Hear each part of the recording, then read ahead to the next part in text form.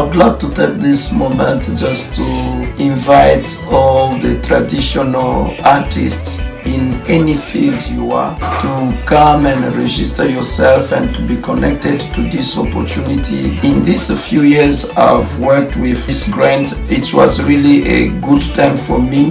It helped me to invest in other young people. I'm really proud of my student. He's not just my student, but he become now my colleague in the work. I've been with David Combo for over five years and I've learned to laugh.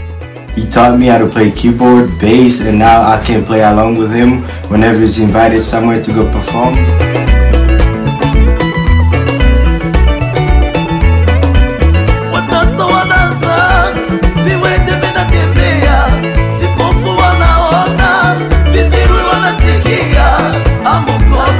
Magati